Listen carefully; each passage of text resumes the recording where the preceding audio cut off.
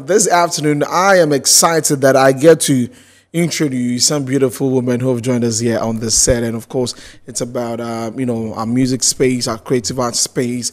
And uh, joining us this uh, afternoon is Chioma Onuchuku, head of uh, Call West and East Africa. Hope I pronounced it well. Yeah, very close. Choma Onuchuku. Onuchuku. Onuchuku. Yeah. Okay. And also Elizabeth Ajman, the senior brands manager of uh, International TuneCore. Uh, welcome, Elizabeth. Ajman, you see how he, he said it? Easy. welcome, ladies. Thank you. And Thank happy you, holidays to you, though. How's it going? It's going well. Uh, fun and work at the same time.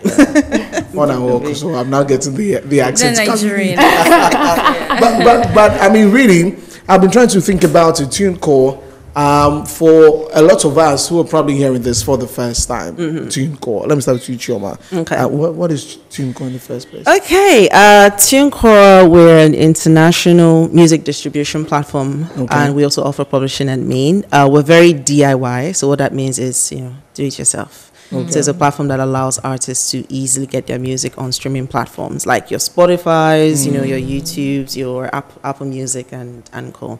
So oh. in essence, that's really what we are, um, a distribution platform that offers publishing administration as well. Okay. Yeah. And, and uh, Elizabeth, as you deal with um, our space here in Africa, um, how is the attraction to TuneCore like? Are people getting to understand what TuneCore, you know, is for, uh, I mean, over the years? I think it's getting better for sure. Mm. Um, what we're uh, still experiencing is the lack of education when it comes to music distribution. Okay. How it actually works to get on a streaming platform. Um, you know, when I grew up, and especially like my cousins actually, the way they consume music is through YouTube music, right? So we think we could just go on YouTube and upload our songs there, and I was good. So the music distribution part, that's kind of like the education part that's lacking. So that's where TuneCore is coming in, and that's where we kind of like create workshop, networking events mm. to really make sure that we get the education part of like the route to get your music mm. out on streaming platforms. So I would say little by little, little we're by getting little, there, yeah. There. Mm. But, but, when, as you deal with um, artists and their managers, and now everybody wants to put their songs on, you know, these streaming platforms, yeah. and they do not have the knowledge about it or they are doing it wrongly, mm. what really is the right process to be able to get your music distributed to these platforms using the TuneCore way? If you can just share with us. I mean, I'll say first off, do your research so you understand. You understand the different ways that you can get your music out there. Because what I found is, because um, it's like some, I don't want to use the word illegal, but very non-beneficial ways okay. in Africa. you know, the whole promote your music kind of a thing, pay us this amount, and you know, we'll help you blow kind of statement. So um, you kind of need to have a basic understanding of all right, uh, yeah. what services are out there for me, especially as an emerging independent musician. Mm. Do you understand? And then with TuneCore, we have a very robust website with a lot of information of how to get your music out there. Okay. Go all the way from preparing your release to making sure you know it goes through the content team, gets approved by our content team to then get to the stores. What I mean by that is because all the stores have the various formats okay. that they accept, mm-hmm. you understand, and within a certain type of frame, time frame. So that information is on there for you just to make sure that you have, you know, you have the best release yeah. um, process for your music. Okay. Yeah. Well, well I'm, I'm glad you mentioned research. So why should we have this conversation about music distribution publication in Africa? Why is it important? I mean, we're seeing what's happening with African music globally. Mm. One of the reasons why that's happening is because the music is available on streaming platforms. Mm-hmm. And not just streaming platforms, but it's also available on social media. Yeah. yeah. And distribution is also distributing to social media. Mm-hmm. Like with TuneCore, you can get music on TikTok, on YouTube, mm-hmm. on Instagram, Snapchat. Okay. We see how important social media is. Yeah. So, yeah, I hope that kind of answers your question. Yeah. So it's important that you understand, you know, why you should be putting your music on distribution platforms yeah. in, in, alongside every other thing you do with your music as an artist. Mm. Again, I always like to say, look at it as a business. You want to create various revenue aspects. Distribute, distributing your music can also get you royalties as well. Yeah. So if you're pushing on social media, you also want it to be linked to people finding it. Say it goes viral mm-hmm. on TikTok. Mm-hmm. The idea is okay, you want it to go viral on TikTok, yeah. and you want people to leave TikTok to go to the streaming mm-hmm, platforms mm-hmm. to add it to their playlist Yeah. and continuously listen to it. I mean, So, yeah. your answer just makes me understand that indeed it's very important because most artists know to put their songs on Apple, Spotify, mm-hmm. but not really on Snapchat, especially when a sound Yeah. is trending. I remember when Otan came. Sarkodie is Otan.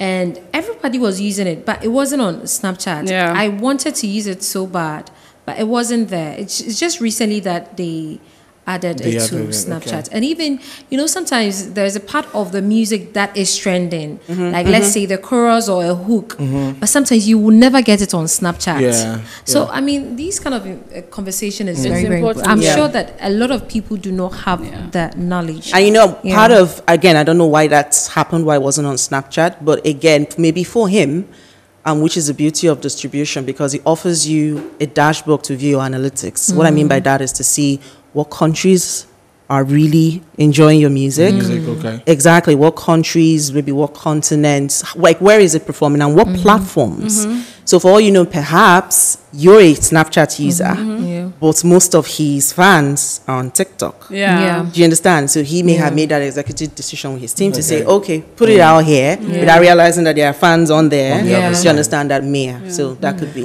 on the on the back of that, um, Elizabeth, you have like uh, background uh, yeah, an in social media and strategic planning, yeah. And in this era where social media is everything, how important is it for artists to be able to build their social media, especially their fan base, and then connect to their listeners? How important is it for artists to know these things? like your question already gave my answer away. So like, so I think in this uh, time and day we are in, there is no way for an artist not to be on social media, mm-hmm. unless you blew up before, mm-hmm. and then you can do a Jay Z and be like, I'm good. But I think, but I think now in this time and age, you have to get there. So I mm-hmm. think social media is is a gift for artists to really build that fan base. Mm-hmm. You can start small. You can really start with family members. You can create close friends, and then like, you know, trying to get your music out there. And I think, as Shema was mentioning, there's TikTok, there's Snapchat, there's YouTube Shorts, where you have the momentum to go viral mm-hmm. Mm-hmm. based on the content you're putting out there and based based on Yeah. the music you're putting out there. Yeah. So as we were saying before, there was like a snippet of Sarkodie's um, song that went viral, not his entire song. Yeah.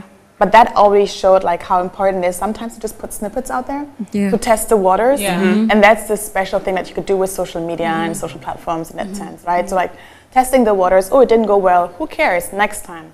Back in the days when something didn't go well, we're almost canceled out of those placements. They took your CD down and it's like, okay, bye bye. that's you know? Yeah. Yeah. And nowadays it works a bit differently where you can always come back and try to, um, yeah, grow with your fans as well. Yeah, but I, I, sometimes this is a problem for some artists in in an era where it's like a digital marketing strategy where everything has to be on social media. Some artists tend to forget traditional media, and sometimes I feel like it's a major problem for because of our culture. Because in Ghana, you see people listening to the radio, um, reading the newspapers, watching television 24 7. They don't even go on the social media platform.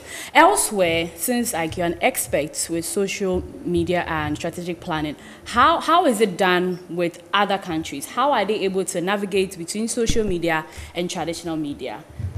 So that's a very good question. And again, um, I would say people also don't know about pu- publishing. So with traditional media, you own it yourself, right? Okay. It's mm-hmm. owned. You decide mm-hmm. Mm-hmm. where you want to put certain things. Okay. You decide you want to say, hey, I want my music on Instagram, Snapchat, YouTube, whatever. With traditional media, as you were mentioning, radio, TV, that's not the case. Okay. Unfortunately, right now, I can't walk into a radio station and be like, here, I'm pitching my music, can you please play it? A lot of people think that's the way it is. But unfortunately, it's not. So I would say, depending on the market and depending on the strategies that are based in those markets, you have to have a publishing company that kind of like pitches your music and sync Okay. for your music to be able to on be, to be on radio and TV, you know. Yeah. Um, and I think that's kind of like the major issue that people don't still don't understand how that works. Yeah. Okay. Um, and I think when it comes to other companies or countries, sorry, uh, for example, in Germany, a lot of artists already are aware of that. So I mean, radio stations still get pitched music every Mm-hmm. Yeah. day, you know.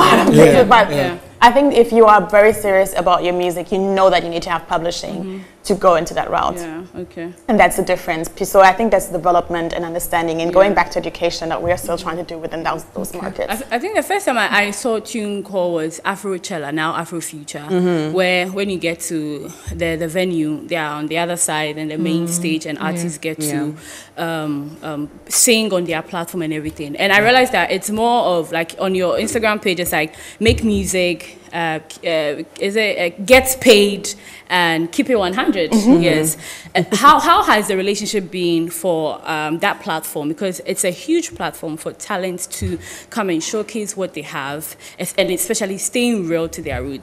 Being on board with them how has the relationship been so far and how is everything going? I think it's amazing. I mean, Afrofuture, you know, former Afrofuture, they've been doing an amazing work, you know, in, in terms of like showcasing African mm-hmm. talent. Do you mm-hmm. understand? And I think with this year's, and even the previous year, you know, they allow for that educational initiative to be a part of it. Mm-hmm. So where you're able to get artists, you know, in the same space with, of course, key opinion leaders or like thought leaders to yeah. have conversations and, of course, have panel discussions about pressing matters.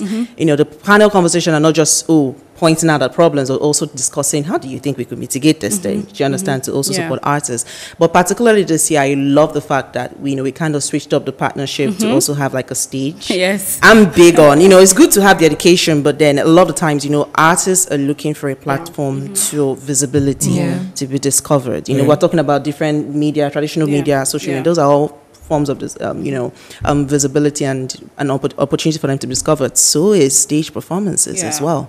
You get so this year we also have our own TuneCore stage True. actually starting today. We should be there right now. but, yeah, I yeah. think on your list there's Last May, there's Jay Zeno, like those who perform. I think Yeah. the list on the flyer, there Oh, were different okay, artists okay, who Yeah, we had some, like, artists. Yeah, okay, some okay. Yeah. artists will be Yeah, yeah. performing. So yeah, so we have something like that also just to give them the opportunity to, To perform. that, Do you understand? yeah. I mean, Liz, you can also chime in here as No, well. I, I didn't want to take the mic from Yeah, you, so um, you know, we have that. So it's just we're doing both a combination of like networking, education, and of course the platform for you know the artists also perform in Yeah. front of a very Yeah. huge crowd Yeah. as well. And yeah, we're really excited. Okay. What- Well before done. Harry, last one. Before, um, so I- I'm I get the whole platform where artists have to put in the work and be creative and be sort of like just doing the music, and TuneCore will take everything. Like is it like the paperwork, the royalties? No, so we don't operate like a label. We're Okay. very subscription Okay. based. Now we Okay. do have like other services, and of course one of our plans is like Okay. a commission based. But no, I think that's just the beauty of it. There's nothing wrong with being with a label, Mm-hmm. but at the end of the day, there are people who perhaps they've been with a label. They didn't like the experience. They rather be independent so that they have full control. Yes. They'll stick mm-hmm. with Yeah. the likes of like a TuneCore mm-hmm. or up and coming artists. Maybe they desire to be with a label, Okay. but they just haven't gotten the opportunity Yeah. Do they just stay stagnant, not put their, you need to do the work as well. So they will use, you know, something like TuneCore. So we operate subscription based. Okay. Um, yeah, so you just pay like an annual, one time annual fee. Yeah. Yeah, that's just um, renewed every Yeah, and you get unlimited releases. So that's kind of how it works. So there's no paperwork. Okay. You know, you own, you know, 100% of your royalties, you know, Oh, except for a few few I services. like I'm here. I like Yeah, there's no contract. We don't own your masters. Like Yeah. you're independent. You're independent. We're just like, we're like a partner supporting you. Let's put it that way. Yeah. But any latest development of features that has been added to the TuneCore platform? Yes. from Savvy artists. Yeah, I think the one that will come to mind is something called splits. This has been like most desired, I'll say. So what splits is, it gives artists the opportunity to split the royalties they earn among um, numerous or multiple collaborators. So rather than doing it manual where, okay, paid to one person and then you're doing transfer mm-hmm. or, you know, trying to mm. send, you, you do it from the TuneCore platform. You just invite, invite in the collaborators and once the royalty mm-hmm. comes and it just splits, you know, to them based on, of course, what has been agreed on the split sheet and the collaboration agreements as well. So, yeah. But generally, is publishing expensive? Is publishing, you mean in terms of fees? Yeah. Um, I will talk from, I will speak from the TuneCore side. Mm-hmm. So you're gonna have, there's gonna be a payment made, like a one-time payment. What that is used for is to have your catalog, and of course you as an artist, registered with all the PROs around the world. There's over a hundred of, a hundred of them. Okay. Now you as an artist can be your own publisher, mm-hmm. but we're talking about a hundred PROs and Yeah. you know, Yeah. collect, so there's performance rights organizations and collective management organizations around the world. That's a lot of work. That's a lot Yeah. of Do you understand? So that is that one-time fee to get you registered, and then we mm. have where aside the subscription, a commission structure for mm. publishing, which is like mm. fifteen percent for certain things, and then one is like twenty percent. So again, it depends on your pockets. For some people, it could be expensive. I think it's right. It's nicely placed. you know. Nicely. It's nicely placed. It's not crazy. It's not crazy expensive. You'll be getting yeah. your royalties. So it's not like across, it's so- there's some kind of like a gatekeeping where oh it's only accessible to X type of artist. No, Yeah. if you really want it, you can get it. So It's anyone, not- like in Ghana, Yes. like from the A list to like the alternative anyone, artists. yes. So No, it's, I- it's I mean, affordable. I, I was going to ask about, um, you know, whether that was expensive, just as Harriet tax. But Elizabeth, as we wrap up on this, um, how are you getting to the to the artists, to the managers, to the various teams to make sure that they're buying into what TuneCore is, you know, offering them? Uh, just share with us. I think um, because we are DIY, so we don't really seek out artists in terms of like, hey, use TuneCore. It's kind of more of a, we do like brand marketing in terms of like awareness, Okay. where we are out there. Again, we work with Afrofuture in terms of brand awareness, making sure that in the market we are known.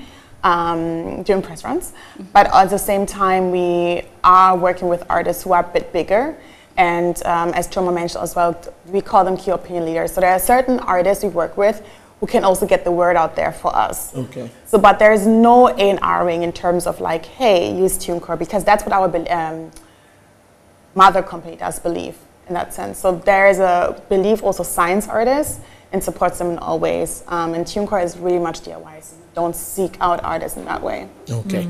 Finally, um, Choma, anything that you know you want to add to um, our conversation that we probably didn't touch on before we wrap up? Um, I think we've really touched on everything, but I mean, we're really excited to be here. I mean, this is um, year 3 you know, that we've had like a big activation, of course, in partnership Yeah. with Afrofuture. Um, we're hoping to be here again. Do we want to do the? Do we want to Yes. do this? That's Yes. it. Do that. That's what you She's have to to do. us. I, I'm, a, I'm an Afro future buyer, so I'll say yes.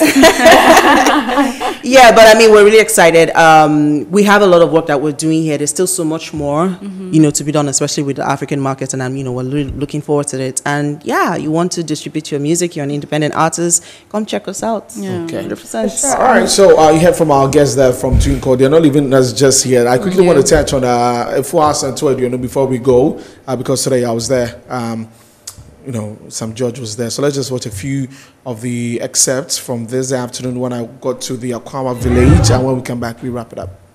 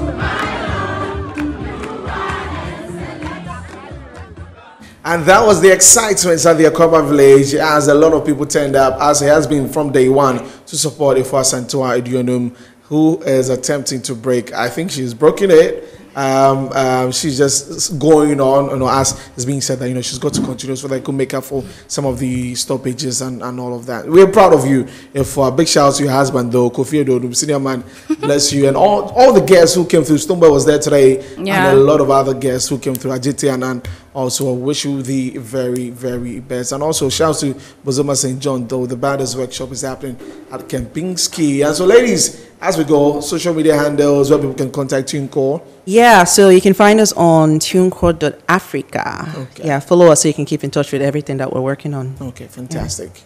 Exactly. If you have any questions, please reach out. I think that's the best way. People underestimate actually how quick we respond. Mm-hmm. Yeah. So that's the best platform to reach out. Fantastic. And that was Elizabeth Ajaman and also Chioma Onu.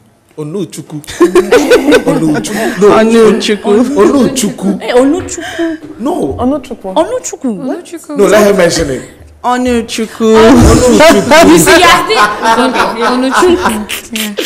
Okay, and happy birthday to Daiwo Ado of our sound department. Today is your birthday, Daiwo. God bless you so much. Super, super amazing talent. Can sing and the heavens will come down. Yo, guys, go check him out on YouTube and his everything. Yeah, shouts to you, Daiwo. And why? That's it. Yeah, I mean, today is Afrofuture. I've, I've We're been saying this, and we are outside. I've been saying this, so everybody knows that I love Afrofuture. So you guys should come out. When you get there, just make sure that um, if you're coming from the, uh, if you have a general access, immediately you enter, you see TuneCore on your right. Yes, before the main stage is ahead of you. So Yep. make sure you have fun there.